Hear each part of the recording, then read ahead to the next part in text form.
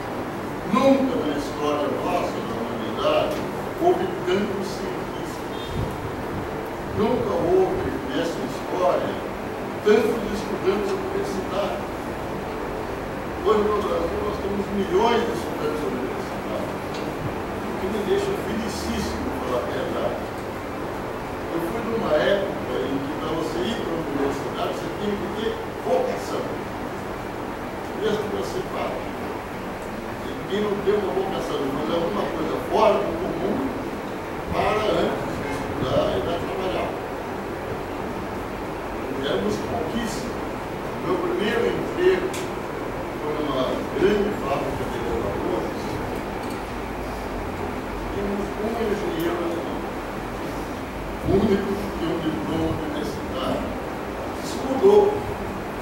Hoje nós temos, uh, eu diria, estamos chegando num momento em que qualquer pessoa jovem espera ir para a universidade, a forma de continuar a sua vida e, eventualmente, cursar a universidade simultaneamente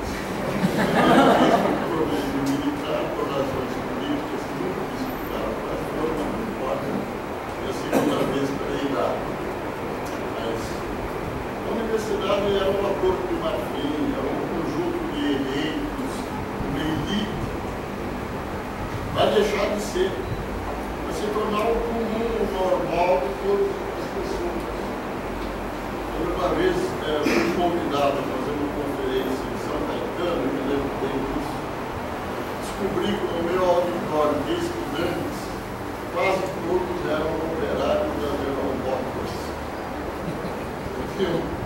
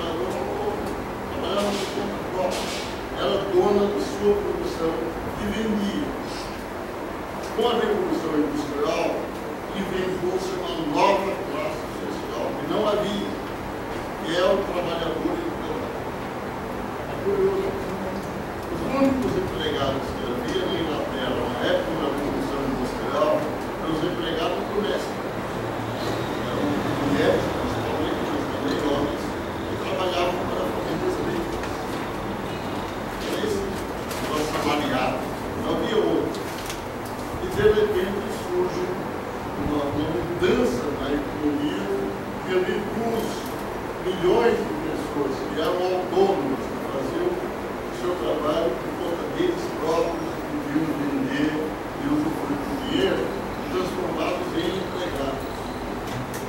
E Tinham que obedecer, é tinham que ignorar o sentido do que estavam é fazendo. A fábrica foi inventada nessa época. E a fábrica não havia, não havia. Pessoas trabalhavam na própria Os artesãos, todos eles eram convocados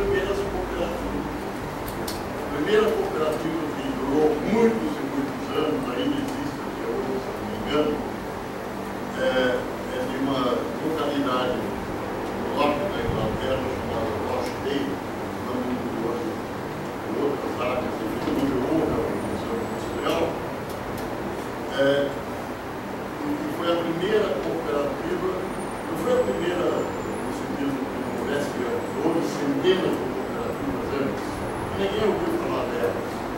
Mas Rocha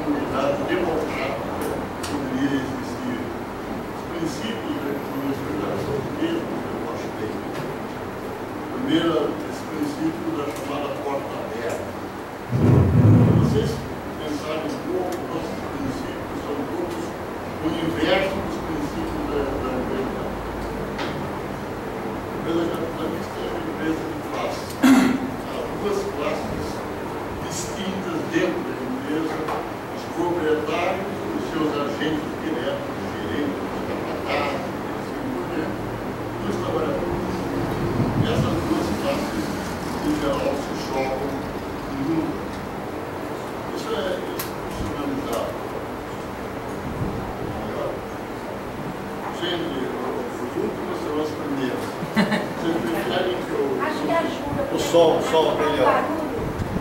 ventilador. Vamos lá. Agora ficou melhor? Sim. Acho que sim.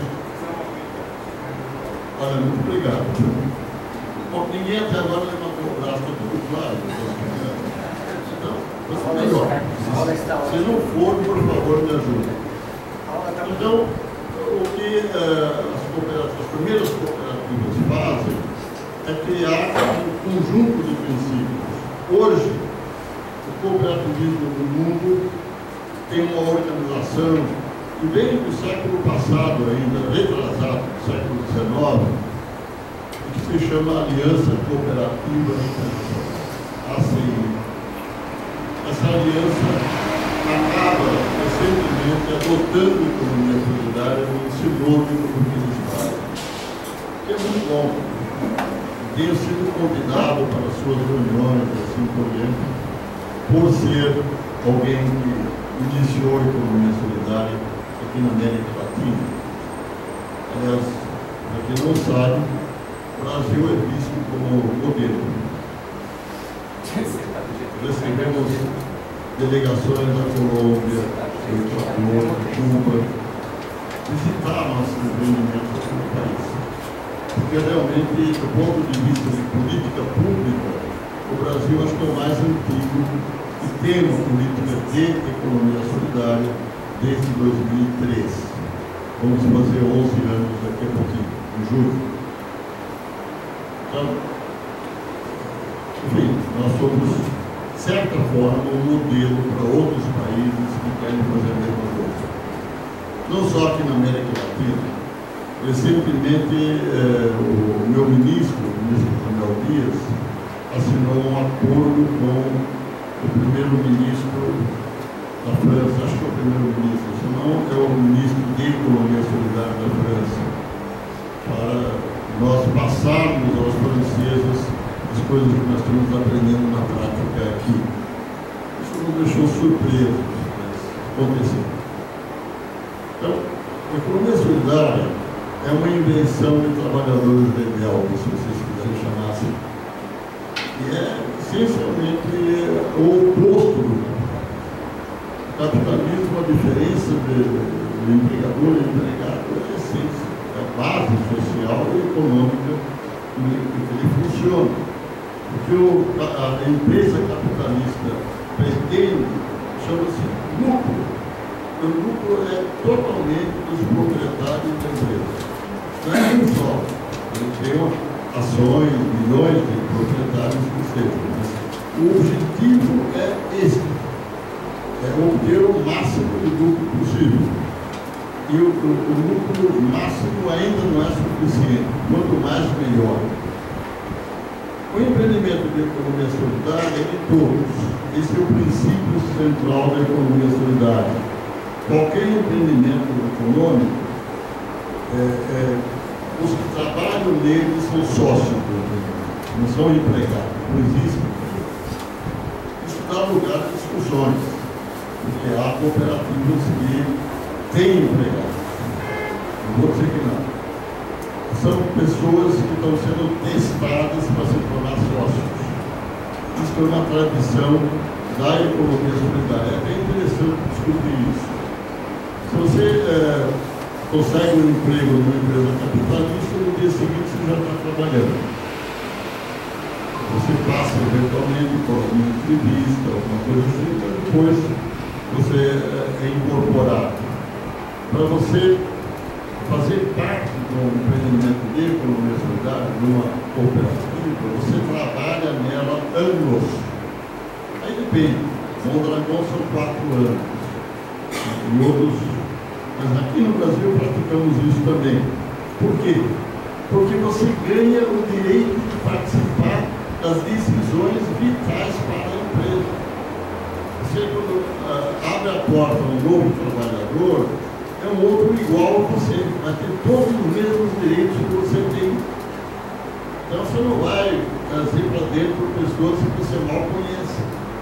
Então a pessoa trabalha três, quatro anos depois chega um momento em que se decide se ele vai para ou não. Ele tem que decidir se ele quer ficar mesmo e os outros vão decidir se querem que ele venha. Eles não conhecem bem, né? Terá muitas oportunidades de mostrar quem é, etc. De modo que entrar numa cooperativa, exatamente porque ela é totalmente igualitária, é como entrar numa família. Eu, eu de vez em quando, faço essa comparação. Você tem que ter um período de namoro, depois um período de noivado, e, e é no momento que você publicamente diz agora que a gente ficar juntos e morrer. Essa situação é, é, é dúvida. Se você pega uma, grande cooperativa nossa, em termos de deputados, muitas vezes você tem 500 sócios e 200 empregados. Esses 200 são para ficar sócios depois. Agora, esses anos que eles são empregados, você importa para dentro do de classes. Porque eles são pessoas sem direito. Ele tem o direito de qualquer empregado da empresa capitalista. Ele pode ser mandado embora. Terá direito à indenização, fundo de garantia, que aliás os outros não têm. No empreendimento de economia solidária, os outros trabalhadores não têm direito trabalhista algum. Recentemente, nós aprovamos aqui no Brasil uma lei das cooperativas de trabalho que pede, essa lei exige, de que os trabalhadores tenham direitos trabalhistas básicos. Quais são esses direitos? Fundamentalmente salário mínimo. Esse é um direito que você não pode abrir mão. Se está claro isso é cruzado você dizer tem direitos que você não pode abrir mão. Direito de votar você não pode abrir mão. No Brasil é obrigatório, você tem que votar. Correto? Mas é um direito, não uma obrigação. Não deveria ser. E, no caso, uh, na nossa experiência já longa, agora de economia são mais de 20 anos, não havia nenhum direito, o, membro da cooperativa era visto como autônomo, trabalhador por conta própria. E de alguma maneira ele era mesmo, não tem patrão. Se não tem patrão, quem é que vai garantir os direitos trabalhistas dele? Essa lei nos ajudou, porque ela diz, o coletivo, o, o coletivo de trabalhadores de uma cooperativa de trabalho é responsável que nenhum deles receba menos do que o salário mínimo da categoria, por exemplo, por mês, como retirada na, na, nas nossas cooperativas, nos nossos empreendimentos de economia solidária, a, a repartição do que eh, se ganha, se trabalha coletivamente, em geral. Tem situações distintas, eu vou falar logo mais. Mas, uma, tipicamente, uma fábrica, qualquer tipo de empresa, as pessoas trabalham juntas e a empresa tem um, uh, um ganho. Como é que você vê, uh, parte desse, desse ganho, só para terminar a frase, é uma decisão coletiva de todos os trabalhadores. Por favor.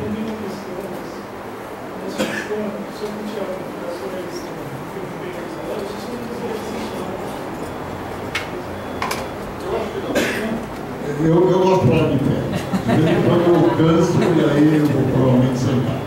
Nesse momento eu estou vou obrigado. Muito gentil da sua parte, Mas então, é, esse é um ponto que, ao meu ver, é, é muito importante. É muito, muito importante. Quais são os critérios para você repartir, vamos supor, uma, uma cooperativa agrícola reforma agrária, do MST. O MST tem dezenas de cooperativas, fazem parte da economia solidária. Então ali você tem centenas de famílias que trabalham numa leva, que é propriedade de todos eles, produzem, vendem o que produzem e recebem uma certa soma de dinheiro. Como é que você reparte esse dinheiro entre as famílias e entre as pessoas? Bom, no MST, o comum é, é, é- é repartir pelo tempo de trabalho gasto. Homens, mulheres, jovens, etc., trabalham e, pelas horas de trabalho, recebem uma proporção do que todos produziram. É- É uma forma de justiça distributiva. Não é a única forma, não. Pelo que eu estou sabendo, na maior parte dos nossos empreendimentos, a, a repartição não é igualitária. Ou seja, porque não é um princípio. Não, não é um princípio que todos têm que ganhar por igual. O princípio igualitário mais justo seria eh, receber de acordo com as necessidades.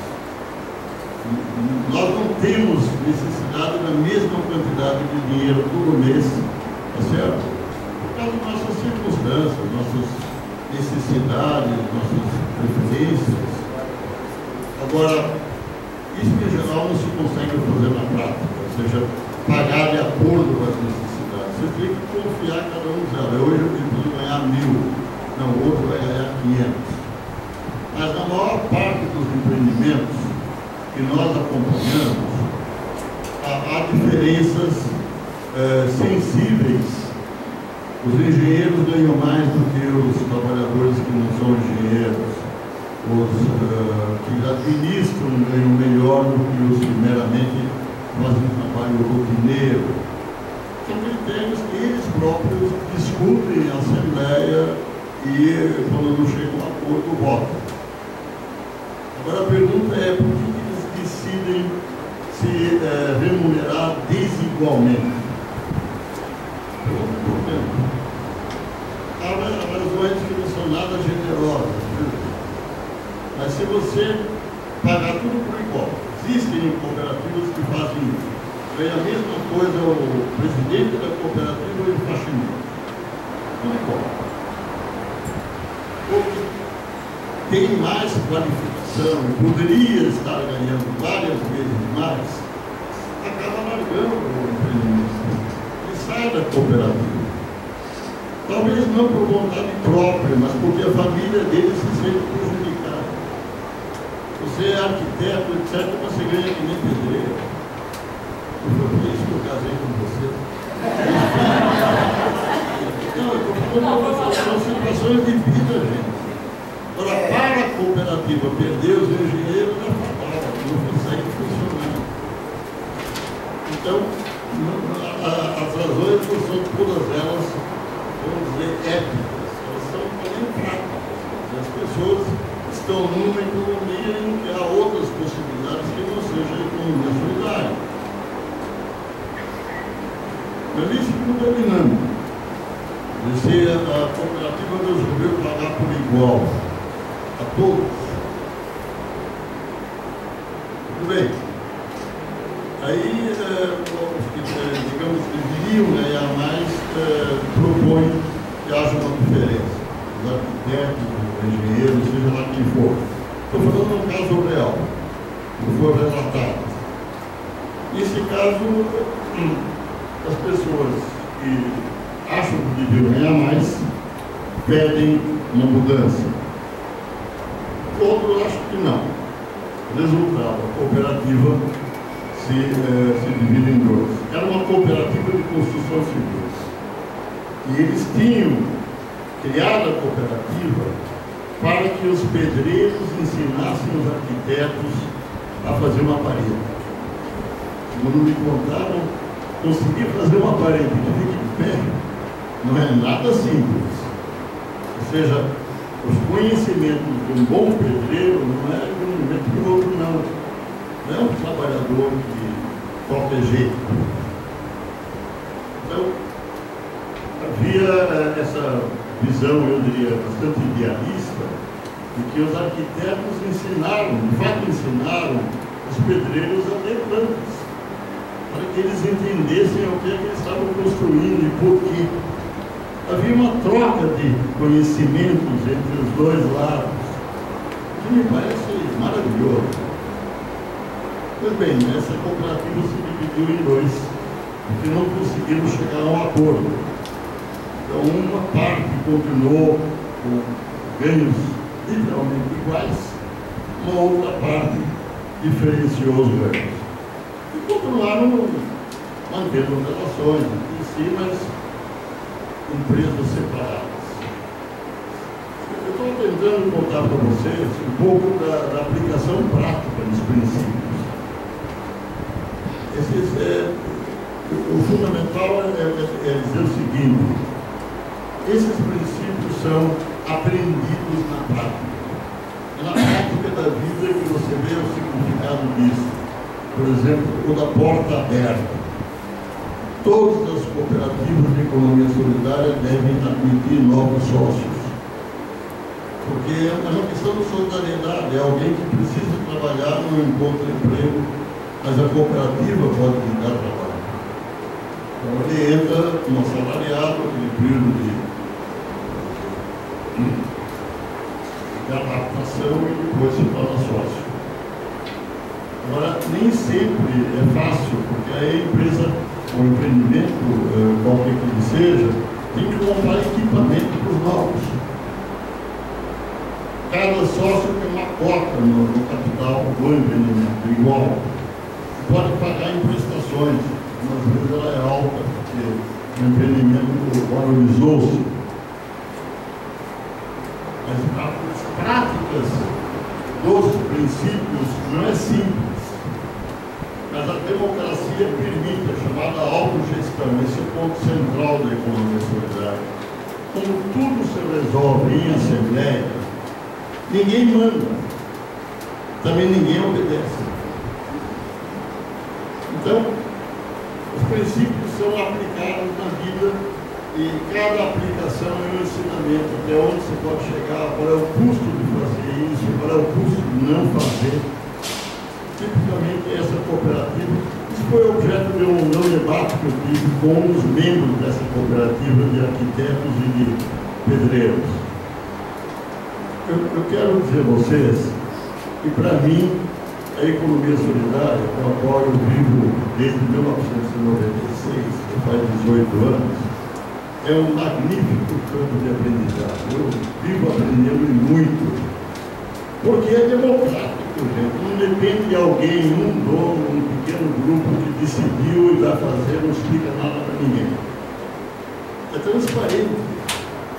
Você faz uma entrevista com as pessoas, elas te explicam por que faziam assim, agora fazem assado, quais foram as discussões, quais foram as divisões é, é uma experiência interessantíssima, de caráter econômico, sociológico, filosófico, se vocês quiserem. E isso é economia solidária, que eu diria de essencial. Agora, peraí que temos ainda alguns minutos, uh, eu acho que nós podemos passar a troca de ideias. Por favor. Eu, eu queria pedir falar, aos que forem falar, dizer o seu nome, tem que conhecer vocês todos. Chega até lá, chega.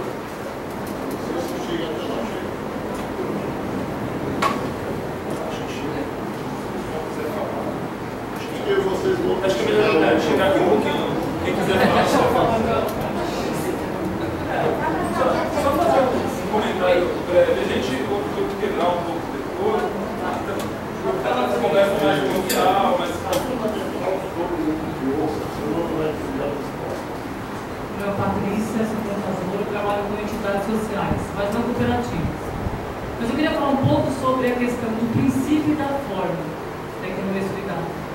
É, a tradição ainda se fala muito, eu participei de alguns seminários de São Bernardo, alguns cursos com entidades sociais, é uma coisa difícil e tal, tudo mais. Mas tem a questão da, da, da tradição da cooperativa que fica para mim um pouco amarrada nisso.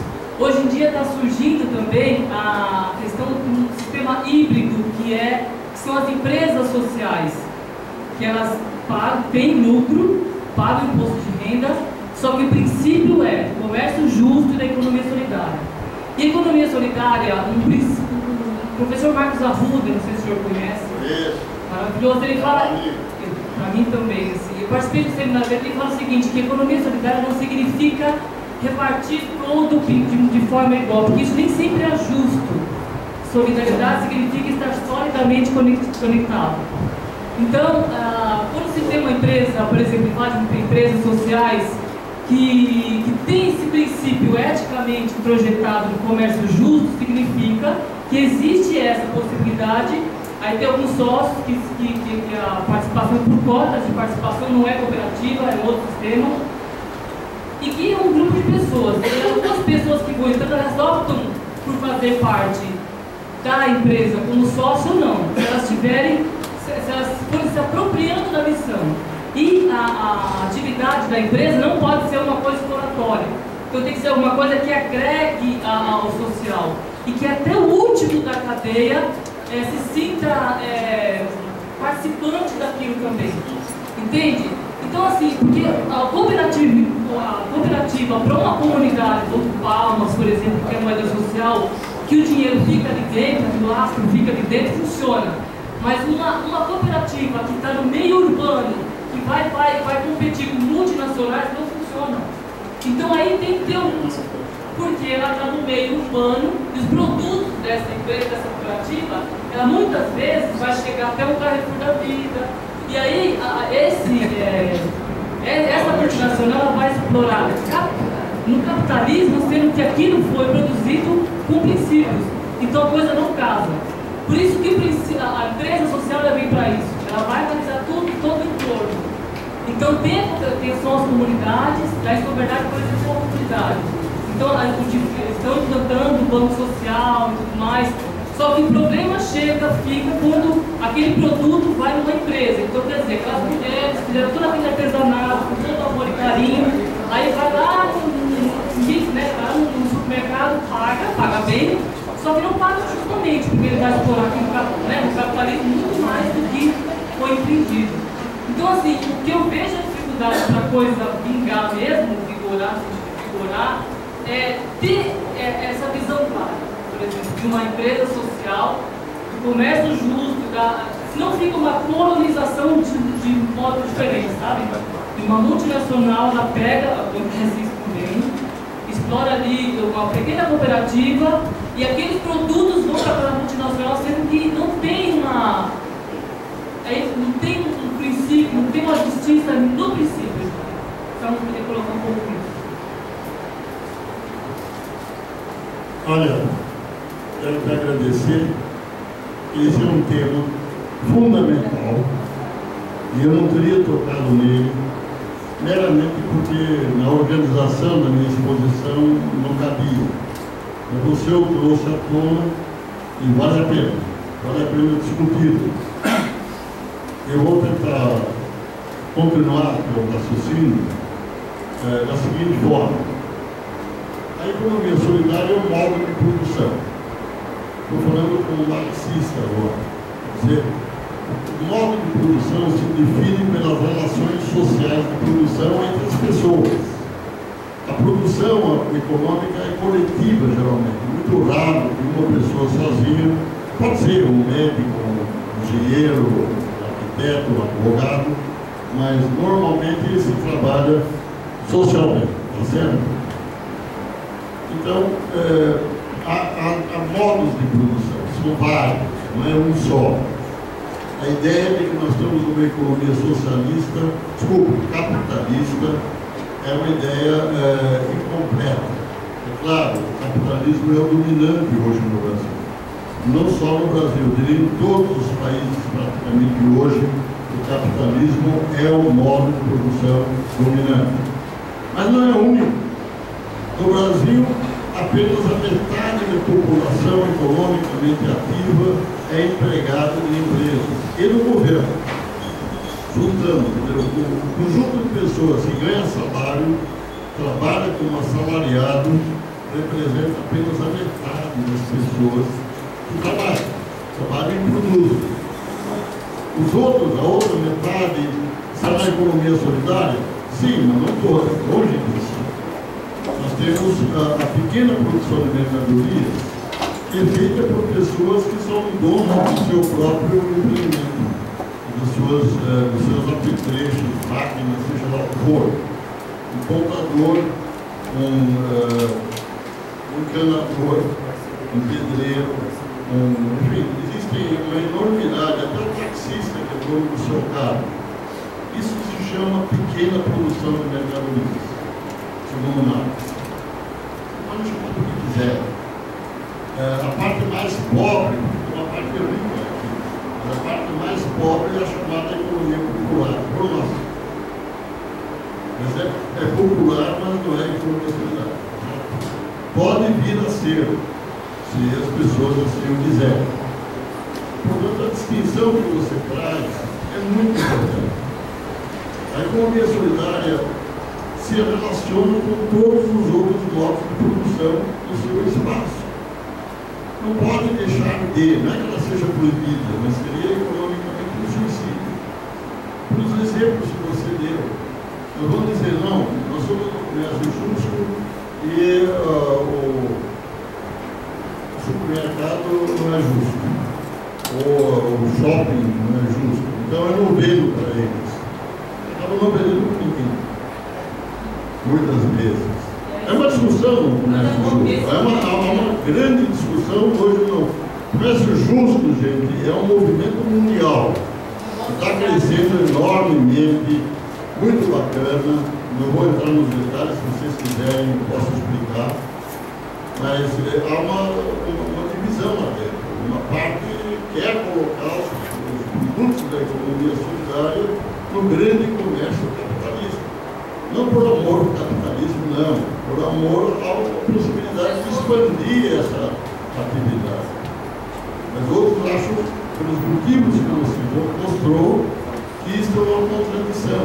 Você, na produção, não explora, você divide conforme os critérios de justiça distributiva da maioria, ou de todos, mas na hora de comercializar, você entrega a um modo de produção que há enorme desigualdade, desde sempre houve, cada vez maior. E nós vamos viver com essa contradição. Né? Eu não tenho nenhuma solução, a não ser usar a democracia para ela. A democracia significa, é legítimo dentro da economia solidária, fazer o que a maioria em cada instrumento acha que deve fazer. Porque tudo que se faz revogável.